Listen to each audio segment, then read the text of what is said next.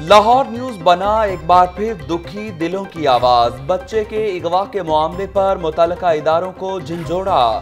Gulshan Iqbal park سے بچے کے اغوا کا ڈراپ سین۔ ڈالفن فورس نے پانچ سالہ ساتھ کو سنیپ چیکنگ کے دوران بازیاب کرا لیا۔ اغوا کار خاتون گرفتار۔ پولیس خاموش تماشائی شہر میں اغوا کی وارداتوں میں اضافہ۔ مصطفیٰ آباد میں پندرہ سالہ امار مبینہ طور پر اغوا۔ امار گھر سے اسکول جانے کے لیے نکلا مگر راستے میں ہی غائب ہو گیا۔ والدین مصطفیٰ آباد تھانے میں اندراج مقدمے کے لیے درخواست۔ خونی کھیل نامنظور۔ بسنت بنانے کی فی الحال اجازت نہیں دی۔ بسنت کا فیصلہ کرنے کے لیے کمیٹی بنائی ہے۔ سرکاری وکیل کا عدالت میں اعتراف۔ کمیٹی کا جائزہ لینے کا اختیار عدالت کے پاس ہے، جسٹس امین الدین خان کے ریمارکس ہائی کورٹ نے chief secretary secretary local government اور ڈیپٹی کمشنر سے چوبیس جنوری کو جواب طلب کر لیا۔ بڑے افسران ہوشیار سرکاری اداروں سے متعلق شہریوں کو معلومات فراہم نہ کرنے والے افسران کو جرمانے ہوں گے۔ رائٹ ٹو انفارمیشن ایکٹ کے تحت چیف انفارمیشن کمشنر کا بڑا فیصلہ۔ شہری کو انفارمیشن نہ دینے پر محکمہ آپاشی کے ایکزین کی ایک سو پچاس دنوں کی تنخواہ کاٹنے کا حکم۔ چیف انفارمیشن کمشنر محبوب قادر شاہ نے شہری حیدر بٹی کی درخواست پر فیصلہ سنا دیا۔ چودہ دنوں میں مطلوبہ معلومات فراہم کرنا قانونی ذمہ داری ہے چیف انفارمیشن کمشنر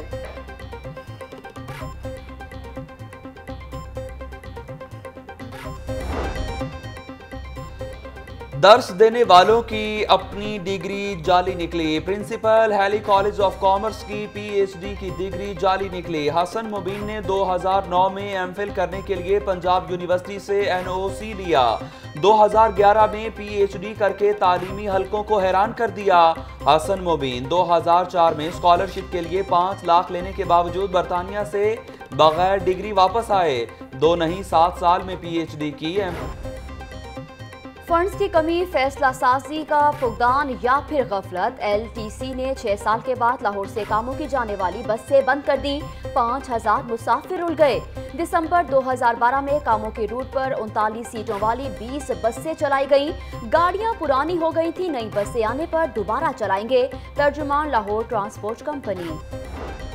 شہر پر نیا بحران منڈلانے لگا۔ جرمانوں اور بیجا چالان کے خلاف ٹرک ڈرائیور سڑکوں پر آنے کے لیے تیار۔ گوڈز ٹرانسپورٹرز کا سترہ جنوری سے ہڑتال کا اعلان۔ ٹرک اڈے بند رہیں گے۔ تجارتی سامان کی نقل و حرکت رک جائے گی۔ Ring road, motorway police, customs حکام کی زیادتیوں کے خلاف ہڑتال کریں گے۔ گوڈز ٹرانسپورٹرز ایسوسی ایشن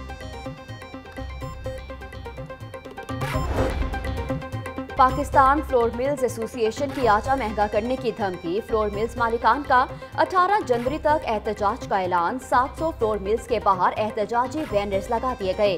فلور ملز ایسوسی ایشن کا محکمہ خوراک سے تین سال پرانی اور خراب گندم نہ اٹھانے کا فیصلہ۔ ایکشن نہ لیا گیا تو آٹے کا تھیلا بیس روپے کلو تک مہنگا کر دیں گے۔ چیئرمین فلور ملز ایسوسی ایشن چوہدری نثار کی اسمبلی رکنیت خطرے میں۔ پنجاب اسمبلی میں آج آؤٹ آف ٹرن قرارداد لانے کا فیصلہ۔ ایم پی اے مومنہ وحی چوہدری نثار کی رکنیت ختم کرانے کے لیے قرارداد اسمبلی میں پیش کریں گی۔ تین ماہ تک حلف نہ لینے والے ارکان کی رکنیت ختم کی جائے۔ قرارداد میں مطالبہ۔ تین ماہ کے مسائل ستر سال کی غلطیوں کا نتیجہ ہے ملک کو اس وقت کئی چیلنجز کا سامنا ہے۔ گورنر پنجاب چودھری محمد سرور کی میڈیا سے گفتگو۔ کہا کہ دوا ساز کمپنیوں کی پیداواری لاگت کا جائزہ لے رہے۔ فارماسیوٹیکل کمپنیز کی مدد سے برآمدات دو ارب ڈالر تک لے جا سکتے ہیں۔ تعلیمی نظام کو ٹھیک کرنے کی کوشش کریں تو رکاوٹیں آ جاتی ہیں۔ ہمارا سکول سسٹم اور امتحانی نظام تنقیدی سوچ کو فروغ نہیں دے رہا۔ صوبائی وزیر ہائر ایجوکیشن کا اعتراف۔ دنیا اے او لیول سے آگے نکل گئی اور ہم ابھی بہت پیچھے ہیں۔ رٹا سسٹم ہماری عادت بن چکا۔ مارکنگ کی بجائے گریڈنگ کی طرف جائیں۔ پہلے سال مارک اور گریڈنگ دونوں ہوں گے۔ راجہ یاسر ہومائیوں خاتون اہلکار کو ہراساں کرنے کی سزا، ترجمان ریسکیو پنجاب نوکری سے فارغ کر دیے گئے۔ جام سجاد نے ریسکیو اہلکار سائمہ جاوید کو ہراساں کیا تھا۔ نوکری سے معطلی کا نوٹیفیکیشن جاری۔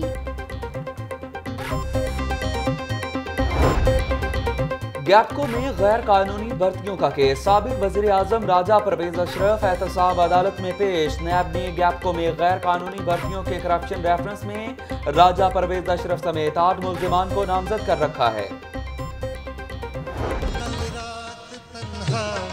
چاند کو دیکھا تھا میں نے خواب میں، محسن مجھے راس آئے گی۔ شاید صدا آوارگی یہ دل۔ اور اردو ادب کا دمکتا چرا، قادر الکلام شاعر محسن نقوی کو دنیا سے رخصت ہوئے تئیس سال بیت گئے۔ ان کا کلام اور شاعری آج بھی ان کے ہونے کا پتہ دیتی ہے۔